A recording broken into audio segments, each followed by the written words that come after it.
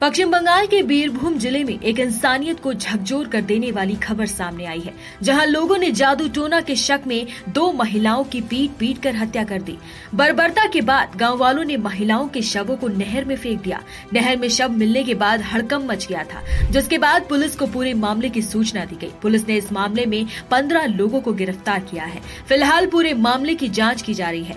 मृतका लोदगी किस्कू और डॉली सोरेन के परिवार के सदस्यों ने आरोप लगाया की उन्हें रात में कुछ लोगों ने घरों से बाहर बुलाया और रस्सियों से बांधने के बाद लाठियों से पीटा। लोध के किस्सू की बेटी रानी किस्कू ने बताया कि मेरे चचेरे भाई और अन्य ग्रामीणों ने मेरी माँ को घर से बाहर खींच लिया।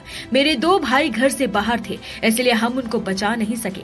जानकारी के मुताबिक ये पूरा मामला बीरभूम ज़िले के मयूरेश्वर पुलिस थाना क्षेत्र के हरिसराग गाँव का है। पुलिस को सूचना मिली कि गाँव के पास बनी नहर में दो महिलाओं के शव पड़े हुए हैं। पुलिस ने जब जाकर महिलाओं के शवों को बाहर निकाला, महिलाओं की पहचान लोदकी किस्कू और डॉली सोरेन के रूप में हुई।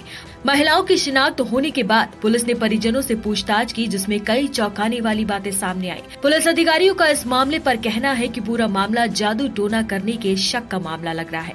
हालाँकि पुलिस ने ये भी कहा है कि इन हत्याओं के पीछे कोई और भी वजह हो सकती है। पुलिस फ़िलहाल मामले की जाँच में जुटी हुई। पुलिस ने मृतका के परिजनों के बयानों के आधार पर केस दर्ज किया है। पुलिस ने अभी तक पंद्रह लोगों को गिरफ़्तार किया है। पुलिस ने मृतकाओं के शवों को पोस्टमार्टम के लिए भेजा है। इसके बाद परिजनों को सुपुत्र किए जाएँगे। पुलिस ने बताया कि उसे भीड़ द्वारा पिटाई की एक वीडियो क्लिप भी मिली है और फुटेज का विश्लेषण किया जा रहा है। पुलिस के मुताबिक गिरफ़्तार किए गए पंद्रह आरोपियों को रामपुर हाट के अतिरिक्त मुख्य न्यायिक मजिस्ट्रेट की अदालत में पेश किया गया। गिरफ़्तार आरोपियों में चार आरोपी एक मृतका के रिश्तेदार हैं, जिन्हें मजिस्ट्रेट अदालत ने छह दिन के पुलिस हिरासत में भेज दिया है।